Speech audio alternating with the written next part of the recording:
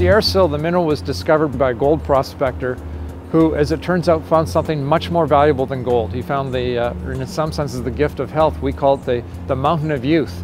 It's really fantastic what it's been doing for people. We've got good clinical studies, but the fun part is this natural volcanic mineral that was geothermically altered about 8 to 10 million years ago is doing wonderful things for people and even pets. We all know that pets are an important parts of family lives and for so many people, uh, pets are their key companion and help them get through their day. And we've seen older pets and the agony, not just to them, but also to their owners, to their families, of what it means when their pet can no longer uh, run around, can no longer be the, the joyful companion that we all want our pets to be.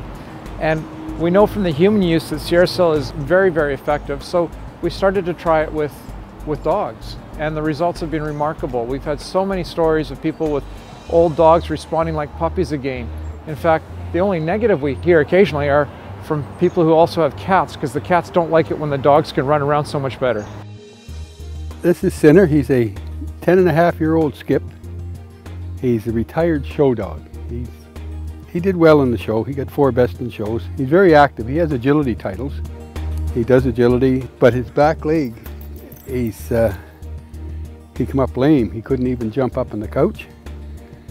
And I tried the Sierrasil with him and within a week he was right back to normal.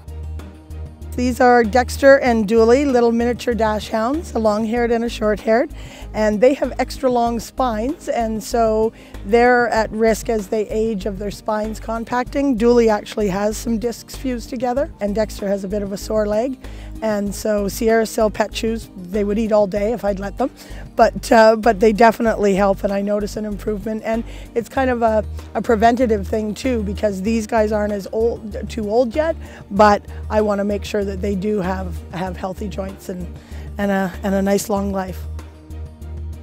One of the common treatments for dogs, aging dogs that have the sore joints, is naturally glucosamine. And the challenge with glucosamine is only doing half a job. It's replicating the body's own production of cartilage. It's not addressing the underlying inflammation. And that's the benefit of taking Sierrasil. Our Sierrasil leaps and bounds. It actually addresses the underlying issue. And that's why it's so effective and so quickly effective.